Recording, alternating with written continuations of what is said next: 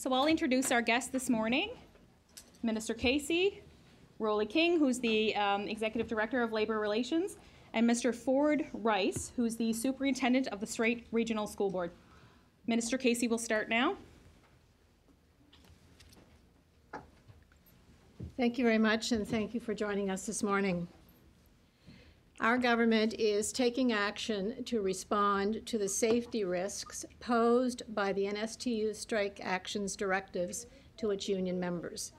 Sent to teachers and principals earlier this week, the directives ask all union members to dramatically limit their supervision of students.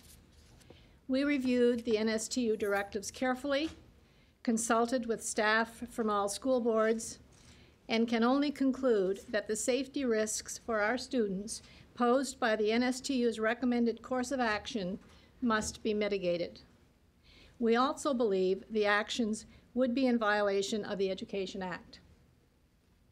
We only arrived at these conclusions after consulting all school boards, seeking advice from internal and external legal counsel, and carefully reviewing the obligations of teachers, principals, and other union members under the Education Act.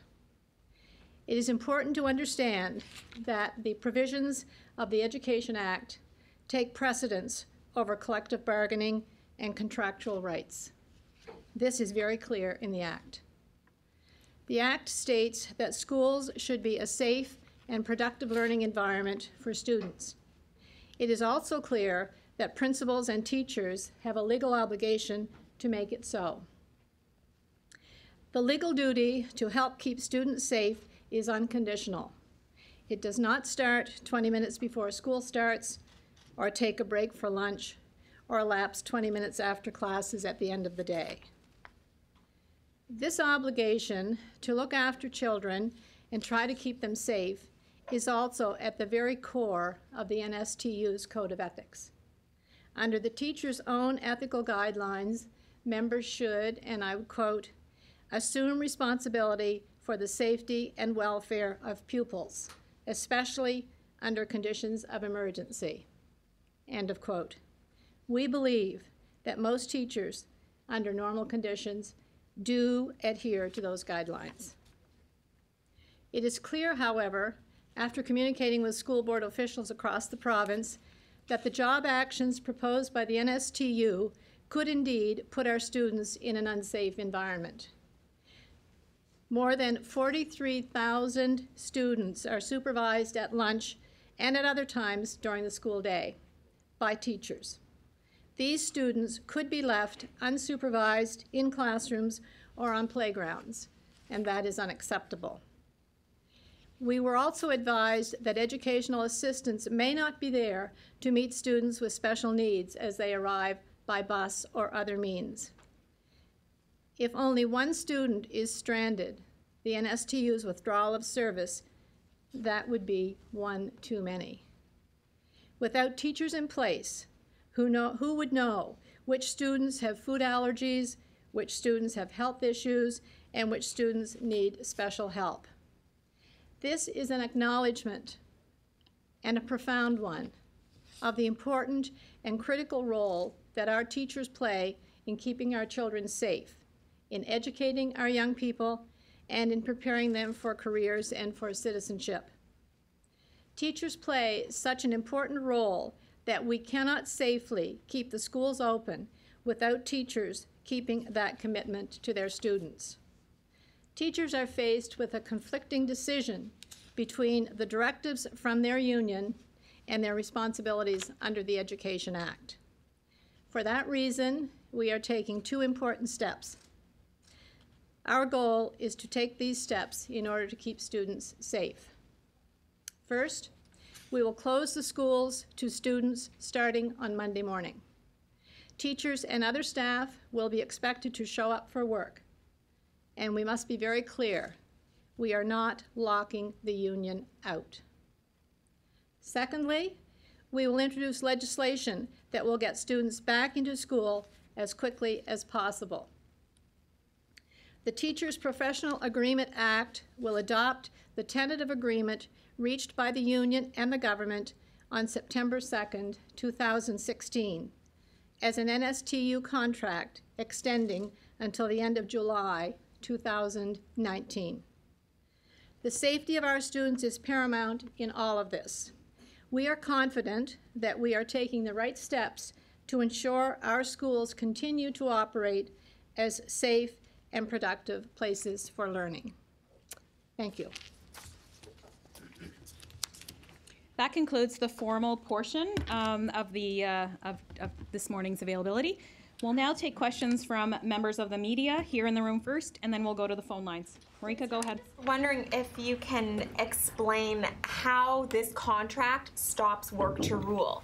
Teachers can still work to a contract, so if the contract doesn't obligate them to work more than 20 minutes before or after school, how does that change anything? Uh, Worked rule activities are considered strike activities, so if the teachers' union is in a legal strike position, they're entitled to work to rule activities. If they are not in a legal strike position, work to rule activities would be considered illegal strike activity. And uh, with the passing of the bill, they will not be in a legal strike position. After the passage of the bill, will they, will they be able to withdraw some of their services? For instance, how can you legislate that they volunteer to coach a sports team? Voluntary activities are up to individual teachers, and they are not covered by the collective agreement. Work to rule will, uh, your legislation will, will outlaw some of the work to rule, the withdrawal of services, but not all. They wouldn't impose a requirement for teachers to carry out voluntary duties. They do that on their own. But isn't arriving 20 minutes before school a voluntary duty? And isn't lunch supervision a voluntary duty? If the contract does not stipulate that they need to be there prior to 20 minutes before, isn't that them volunteering their time? Um, I, I would point you to the duties of teachers under the Education Act and the requirements that uh, student safety is paramount at all times, that they're there, including when they arrive, when they leave, and while they're at school, including lunchtime. And Minister, what's your message to parents who now have to find childcare as of Monday and have no clue how long that will last? Thank you. We certainly have been hearing from parents who are concerned and asking the question, is it safe for my child to go to school? Not knowing for sure what uh, supervision will be provided at the school. So what we're saying to parents is we recognize that this uh, will be an inconvenience uh, in the short term, but we believe that the uh, responsibility to ensure that their students are safe uh, is a priority, and we will err on the side of that. Minister Casey, as you know, students have uh, walked out of school yesterday by the thousands in support of their teachers. Now, what I'd like to ask you is um, what measures will the government be taking to minimise disruption to um, graduation exams and end of year exams for final year students because they are quite worried that um, this will impact their education and chances of applying to university. Uh, When, uh, with the passage of the legislation and with the new contract for teachers, there will be no interruption in uh, the examination periods or, or any of the normal uh, expected uh, programs that stu, that teachers deliver. Have you been advised how long it should take the government to pass the legislation? That will be a, a decision to be made in the legislature, but we will be introducing it on Monday. So it usually You'll be sitting around the clock once you get past first reading? We have made a commitment that we want students back in classes and we want teachers there with them, and we know teachers want to be there with them. So we will do whatever we can to move that through the legislature. Minister, what's your message to teachers about this decision? Uh, I think that teachers w- will recognize, and some have uh, suggested that they are in a difficult position because they are conflicted between their commitment to the act and their commitment to the uh, contract. Uh, I think it's clear, and we've made it clear, that the Education Act does take precedence. I think what it says to teachers is that their role in supervising students in our schools is absolutely critical. And with the uncertainty about what that level will be and how that will be administered, that school boards felt it was unsafe for schools to be open. Minister, this sorts out the contract issue, but a lot of the issues raised by teachers covered working conditions and classroom conditions, Parents have talked about that, students have talked about, it, and teachers have talked about it. So, what happens next in dealing with that side? I've, I've answered that question all along in that we recognize, have listened to teachers, recognize that they have some very real concerns, and we want to continue to address those, which we have since we formed government, and we will continue. And uh, working with the teachers' union, the partnership that was set up was designed exactly to do that. Uh, That work has started, and that work will continue. Madam Minister, the uh, NSTU and, uh, and the government may not necessarily agree on what is work to rule and what isn't work to rule. Uh, How are you going to deal with that? I, I think it's become obvious that uh, the work to rule has gone beyond the definition of a work to rule and has infringed on what uh, teachers are expected to do under the Act. And so that clarity uh, has, to, has been provided, we hope. How, how, um, that's your interpretation though, right? The teachers union has very clearly said they do not believe that they are either in, um, in conflict with the Education Act or with the rules governing them. So what tools do you have to make sure that they arrived more than twenty minutes before school starts? I, I again would refer to the obligations and the responsibilities that teachers have under the Act, which is for supervision of students. And this is clearly about the supervision of students and ensuring the safety of students while they are on, on the school grounds. It seems um, very heavy-handed. Why is this? Why is this what is needed? It's unfortunate that this is what is needed, but it is fortunate that we are able to do it uh, at this point in time to protect students and to keep them safe. And, and that is exactly what is driving the decisions that we're making. The Halifax School Board, for example, said that they had already figured out bus arrival times and they had figured out lunch supervision. So, what? Um, how many students, how many schools did you determine would not have had proper safety coverage? We have been in uh, communication with school boards, uh, all school boards ac- across the uh, uh, province on a regular basis, asking them how they how they can mitigate, how they can ensure safety. Uh, I'm going to ask. Our superintendent here, who was one of eight superintendents, who indicated to us very clearly that they were not able to uh, guarantee that students in their schools would be safe. Do you want to just speak to that, please? Thank you, Minister.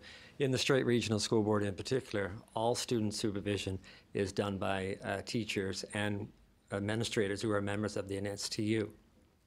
And if these teachers and administrators chose to adhere to the uh, direction of the NSTU, uh, we would be not be able to provide for the safe and security of the uh, students while in our care during the day.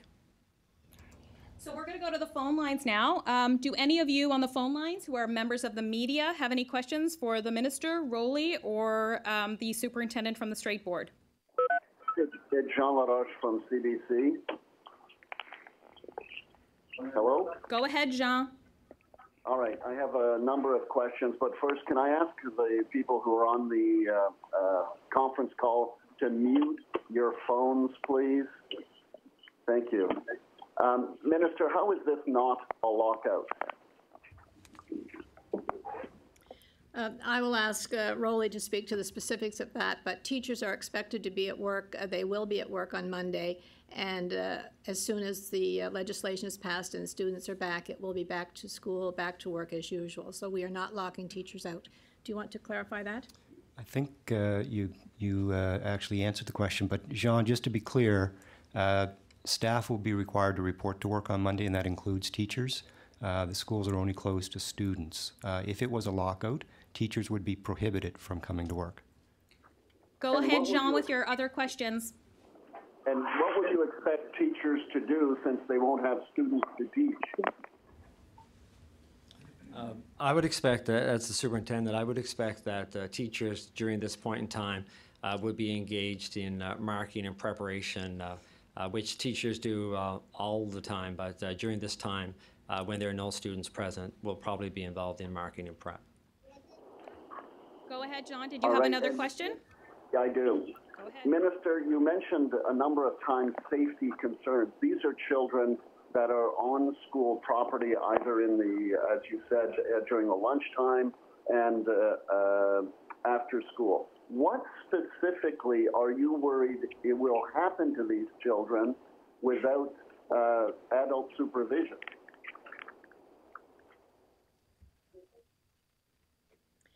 Uh, Thank you for the question. Uh, I really don't want us to speculate because when you speculate, it's not a nice picture. But let's say there was a uh, five-year-old student. Parents were to come and pick them up. Parents weren't there within the 20 minute. The student is left alone on the playground. That's unacceptable, and we're not prepared to- to have students put at risk in that way. And finally, in terms of your bill that you plan to bring in on Monday, what specifically will you be outlawing in that bill? John, it's Rowley. I'll answer that uh, question.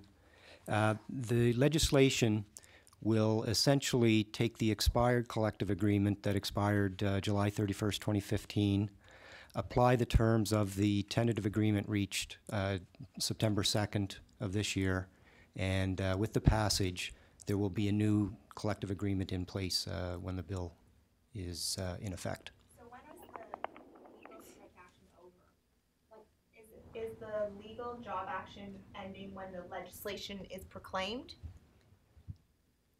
When the legislation is proclaimed, a new teachers' professional agreement will be in effect, and under the provisions of the Teachers Collective Bargaining Act, uh, strike activity is not permitted when there is a collective agreement in place. So we'll go back to the phone lines and take two more questions from the phone lines. Do any of you on the phone have any questions for either uh, Minister Casey, Rowley, or the superintendent? Uh, Frank Campbell here. Um, does not a collective agreement uh, require agreement from both sides? There are two ways a collective agreement can be put in place. One is if it's negotiated between the two parties and, ex- and executed by signature, or if it's imposed, and it could be imposed by legislation or by arbitration.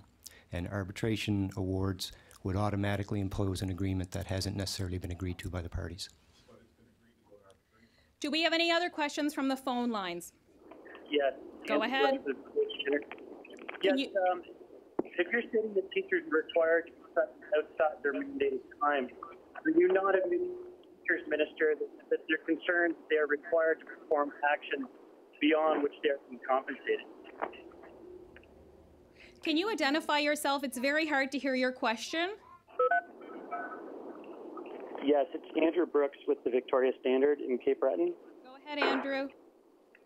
Uh, uh, my question was, if Minister, if you're stating that teachers are required to be present outside their current mandated uh, reporting time, are you not admitting to the teachers' concerns that they are being required to perform actions beyond which they are being currently compensated? I, I'm wondering if you're referring to the uh, Education Act taking precedent over the contract. Is that the basis of your question? Well, it, it, it, the precedent was set earlier in, in question saying that, you know, there's no suggestion that they need to be there beyond 20 minutes, but you're saying their presence beyond that is, is crucial to uh, student safety. So uh, I'm wondering if that doesn't suggest that their, their concerns that they're being undercompensated for time beyond that mandated 20 minutes.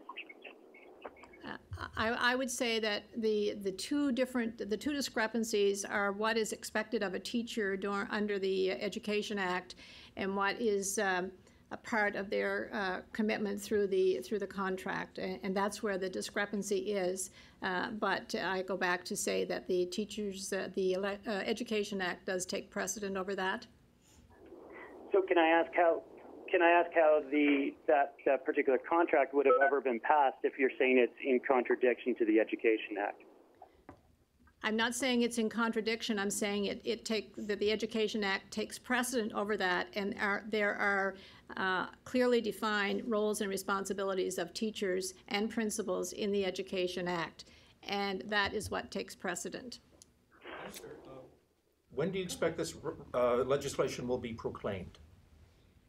We are, we are calling the House back on Monday, and we will go through the normal process for, for legislation.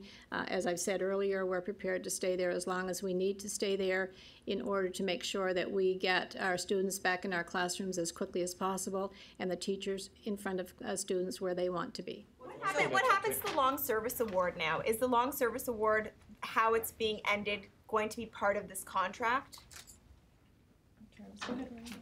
The terms of the tentative agreement, September 2nd, uh, freeze the service of the long service award. So doesn't that open you up to a court challenge, given the Supreme Court's ruling a few weeks ago?